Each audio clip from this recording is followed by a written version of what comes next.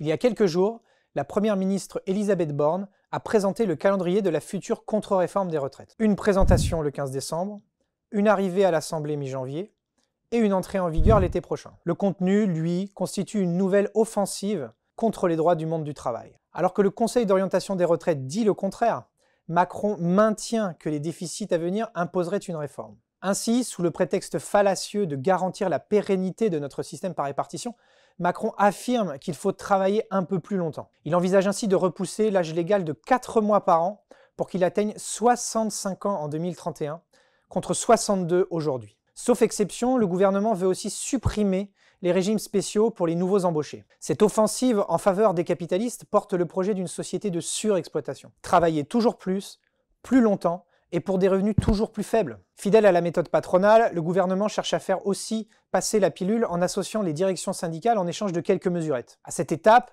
cette manœuvre a échoué car cette pilule est grosse à s'en étrangler mais le risque subsiste. Voilà pourquoi, après le répit des fêtes, la construction d'une mobilisation d'ampleur doit être notre première résolution pour 2023. Pour cela, notre camp social devra faire feu de tout bois, d'abord sur les lieux de travail, mais aussi sur les lieux d'études et dans la rue.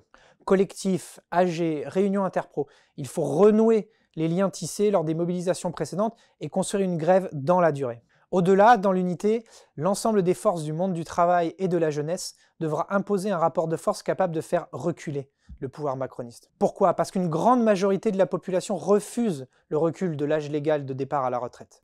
Mais aucun Parlement ni aucun référendum ne pourront mettre en échec le gouvernement. C'est donc bien par les luttes de notre classe que nous pourrons sauver notre système de retraite.